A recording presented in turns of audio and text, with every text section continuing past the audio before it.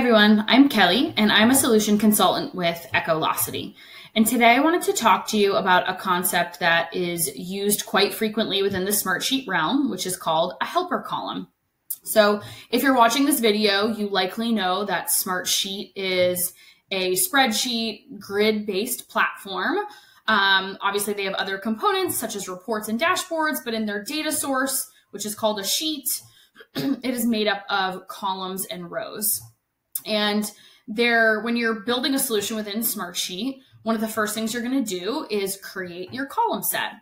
And when you're thinking about your column set, you're likely thinking about what are the data entry points that I need to fill in um, as a source of this data. So if you look at my screen, I'm showing an example of a CRAID log. A CRAID log is a common asset that we use to track changes, risks, actions, issues, and decisions. Um, we have another video specifically on the concept of CRAID log, so I can link that in the description.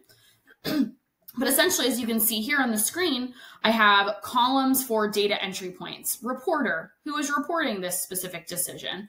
What is the CRAID type, right? Is it a decision, risk, issue? What is the overall status? Um, I'm going to come back to this one as a helper column. What is the priority? What's the description, right? So you're thinking about all of those data points that you need filled in to support the you know solution that you're building and have the right data in place to support that. Helper columns are additional columns that you might add to your sheet for a few different purposes. You might use it to have the opportunity to report on something specific. You might use it as an opportunity to calculate something um, or you might use it as an opportunity to convert data even so on this sheet, I have a few examples of how we use helper columns at Echo um, and how you could potentially use them as well. so the first one here, I have a status column. And so when thinking about a CRAID log, oftentimes the, the statuses of an individual CRAID item may be different.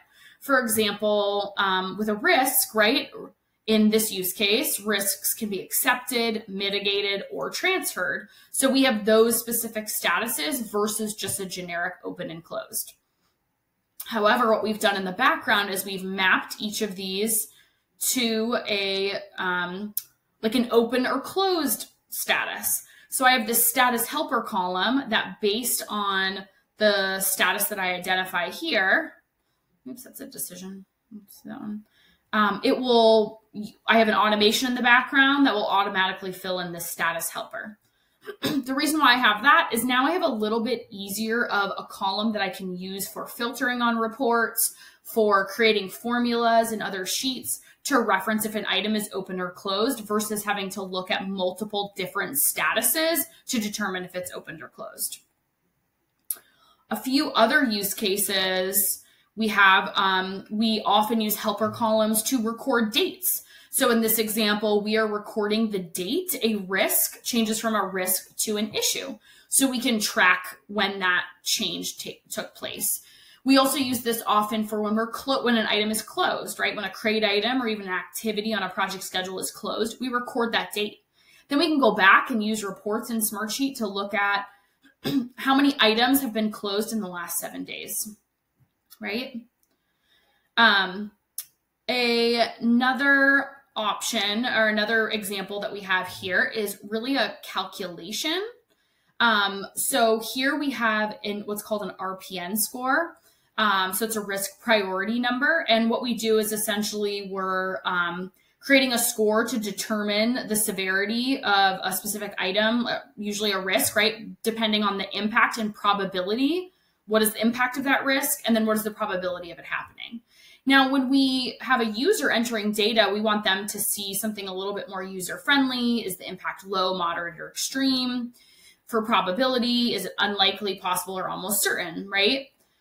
And these helper columns are actually converting or calculating this text just into that straight number. So then we can use this column to calculate what that score is, right? So we kind of have multiple different examples here within these helper columns because we're converting this data into a number, and then we're using that to calculate this specific score.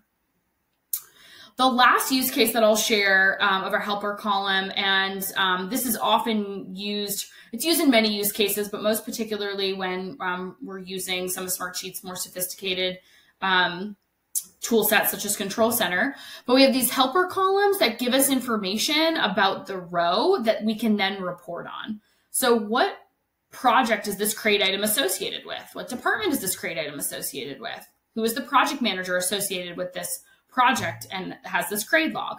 The reason for that is we might want to look at CRAID items across an entire project portfolio, and then we want to be able to identify is this risk from project A or project B. Um, so that's why we have these helper columns as well to be able to give us that data. Now, this is going to show exactly the same data all the way down. And so in this sheet, we'd likely hide these columns.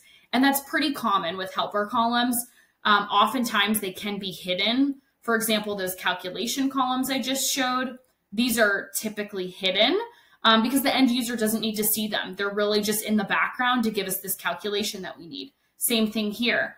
These are necessary on a report that we're um, creating at the portfolio level, but it's not necessary for the end user on this sheet because they likely know what project it's associated with. It's likely in a folder for that particular project or linked from the project dashboard. But it's really important that when we create a report at the portfolio level that we know which project it's associated with. So um, if you have any more questions about helper columns, don't hesitate to leave a comment on this video. Thank you so much for watching and subscribe to our YouTube channel so you can um, get notified when we release new informational videos. Thanks again.